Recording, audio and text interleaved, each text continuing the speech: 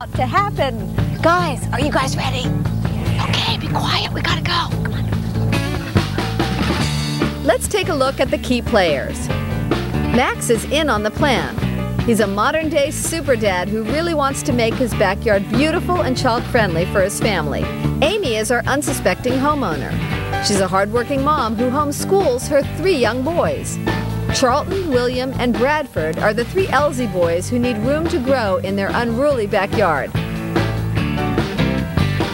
Our yard has been an eyesore for the family for about seven years since we moved in. It's gotten to the point where we just don't enjoy it at all and we need to do something. Amy homeschools the boys and so they're here all day. I would just love for Amy to have an opportunity to send them out to a nice place to play as well as a place where she could have a place to relax at the end of the day to recharge her batteries. The Outer Spaces crew is positioned just outside Amy's house. Amy's parents and designer Tom Stout are also ready to go. There's an old RV just inside the fence that's going to help us make some noise. Let me get into the RV first. Okay, do you have the keys? Okay, fire it up. Okay, Tom, get your guys and start digging. Our Outer Spaces crew got to work and started making noise. Max played along by opening the door so Amy could hear what was going on. Finally, Amy and the boys came out to see what the noise was all about. Hi, boys. Hi guys, I'm coming to visit. I'm Susie Coelho. How are you? Hi, Susie. Do you know why we're here? You wanted a backyard, right? Oh. Well, we had a certain kind of a backyard already. We're going to give you something very special. Mommy, she was she was hiding. She was hiding. I think She's really been hiding. Well, you kept the secret really well. Yeah, that was work. So, Amy, I've got your mom and dad here. Bill, Nancy, come on up. Oh, this is so fun. You Thank knew you. about this, you guys? Yes. They've been conspiring with us and with Max, but the boys didn't know anything about it. You, okay, good. That's Somebody just as well. Yeah. So let's talk a little bit about your backyard. Have you uh, done anything out here, or have you had any ideas about what you want to do out here? I guess I like like an English garden kind of a look. Flowers and Good job. That's what he told us. He knows you well. Wow. That's great. Max also told us there was one particular eyesore in the yard that Amy was anxious to get rid of. I have one other little surprise for you. Take one step out. What happened to your RV? It's being backed out. Whoa! but it was so attractive I right know. there. I heard that you just love that RV, and guess what? I'm getting rid of it. So he told us um, that you homeschool the kids Yeah. and that you're cramped up inside a good portion of the day, and then. Yeah, this is where we come to let off steam out here. All right, Amy. The second part of this is you get to take the day off. Boys, no school today, because guess what? I'm sending you to the beach. Yay! All right, so Amy, you're going to go to the beach with the kids and Nancy. Max is going to stay here. Bill is going to stay here. They're both going to help me. And you're gonna, we're going to check in with you regularly, so you need to take your cell phone. And then you can't come back until we're done. You know all of us are going? Yeah? You ready to go? Okay. Everybody ready for the beach? Yay! Woo-hoo! Let's go. Woo! Amy and the boys are off to the beach. Bye, Nancy. To have some fun in the sun. Bye. While we get to work on the yard.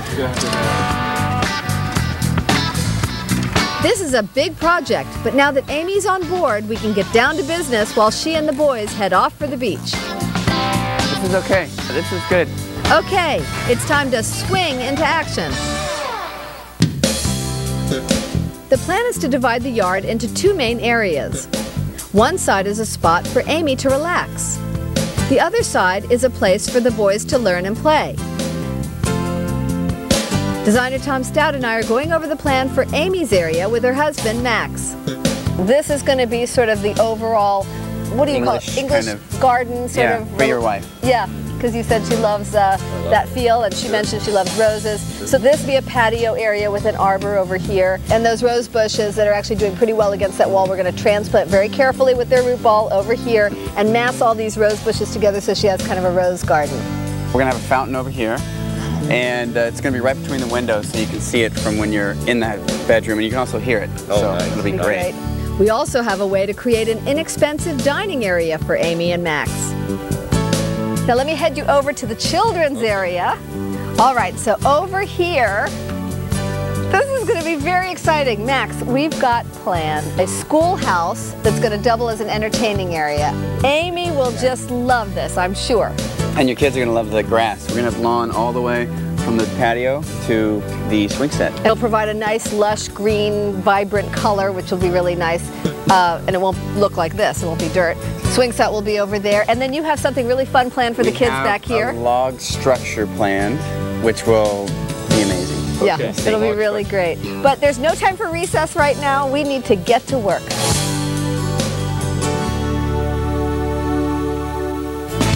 Amy and the three boys are having a blast at the beach, but making over her big backyard is no picnic. How do you make a large space like this be more private and intimate? We'll tackle that when we return. Looking for even more decorating tricks and treats? Log on now for the frightful and delightful Halloween projects on HGTV.com. Your pictures will never be the same again. Introducing Kodak Perfect Touch Processing. Perfect Touch looks at every picture individually to draw out the details digitally. And now, it even detects and reduces red eye. Remember, you have to ask for Perfect Touch. So check the box, check the back. Be sure it's Kodak.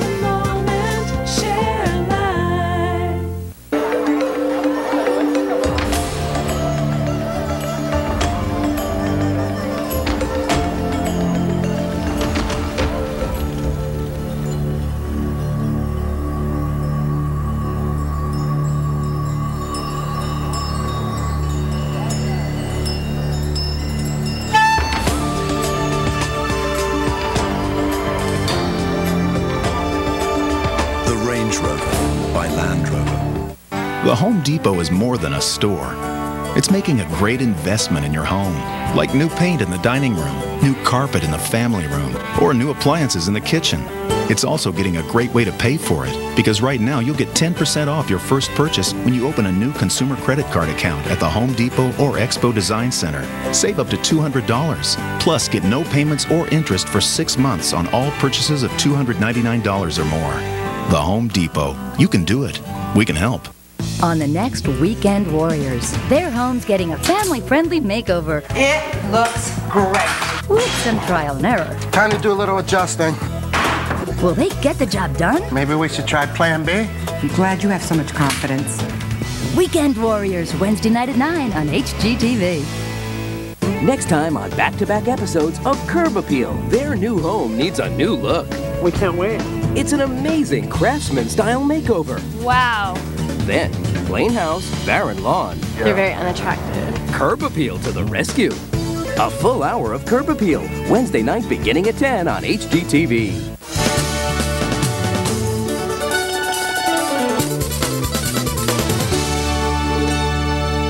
Welcome back to Outer Spaces. We have plenty of homework to do here at the Ellzeys while we correct Amy's backyard where she homeschools her three young boys. It's been an out of the ordinary day for Amy Ellzey and her three boys as they woke up to the Outer Spaces crew in their backyard. So far, we've marked out the areas, and just by cleaning it up, it already looks better. We got rid of an old RV, which Amy says was an eyesore, but we are not throwing everything out. We found some old things that we can use to create a private area where Amy can relax.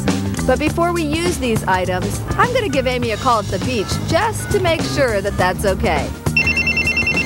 Hello? Hi, Amy, it's Susie. Hi, Susie. I found a few uh, little pieces, I guess I would say, of furniture that it looks like they're kind of all piled up, not really being used. Can I use anything I find in the garden? Use anything you find. That's fun. Well, you guys have a great time. I'm going to get back to work and uh, make some sandcastles for me. Max told us that Amy really wanted an arbor, so I decided to test it out with a few accessories to see how it might look once the patio is in place.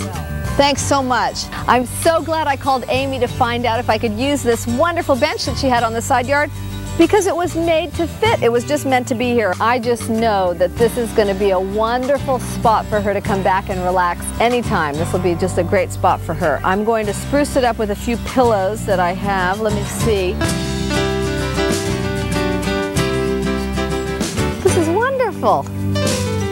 I'm adding some color by using flowers in pots instead of planting them all in the ground. This way Amy can change them depending on the season and what's currently in bloom. In colder climates, the pots can be easily brought indoors for the winter. Now that I've created a relaxing place for Amy, designer Tom Stout is starting his plan to improve the look of the existing fence, as well as add privacy by inserting panels behind the lattice. We didn't buy a new fence because the, it would have been thousands of dollars. And in order to create privacy for the Ellzey family and keep the cost down, we cut some luan to fit in the existing fence and then put new lattice on the outside of the luan so it would look great from both sides. And then we took a staple gun, secured all three pieces together, the old lattice, the new lattice, and the new one. Then we put a fresh coat of paint on it. That fresh coat of paint makes this fence look brand new. So while Max and Amy's father, Bill, continue on the fence, Tom and I are going to get started on the next feature of our English garden. Earlier, Tom laid out the pattern for Amy's patio. He simply spray painted a freeform design and dug out about a 4-inch trench. Next, he installed a bender board which can easily be shaped to follow the design and will contain the surface material. We could finish off the patio by adding pea gravel or bark, but for this particular design we chose decomposed granite, also called DG.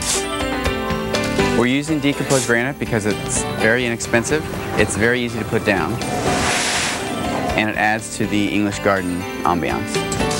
Once the decomposed granite is poured and evenly spread around the patio, it is then wet and compacted, forming a very hard surface.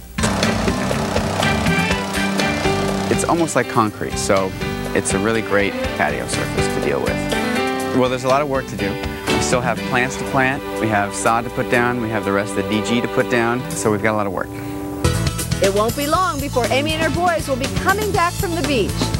Even with the help of her husband and father, we'll never get all of these plants in the ground in time.